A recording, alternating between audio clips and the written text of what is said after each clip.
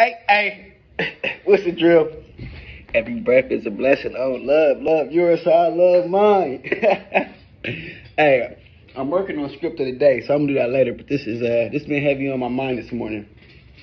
Be you, bro. Like, walk in your light so you can share your light.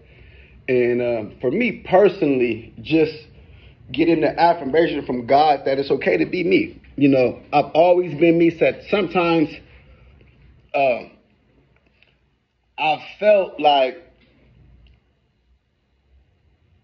not necessarily not myself, but I couldn't be myself in certain environments, certain rooms. So when I'm in them rooms or environments, I just exit if I feel that way. I want to be myself. I'm going to be myself in every room to feel comfortable. If not, I get up out of there. But being myself, walking in my light, if I can share my light, my love is lovely. So be you, bro.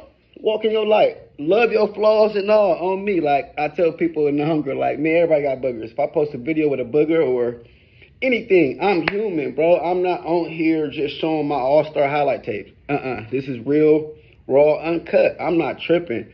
I love myself. I'm gonna be myself. God got me. Everything else is like water underneath the bridge, bro. It's nothing. So be you, love you, bro. Love yourself, love your family, love everything, bro. So be you, man. I just had to get it off before script of the day. On love, be you.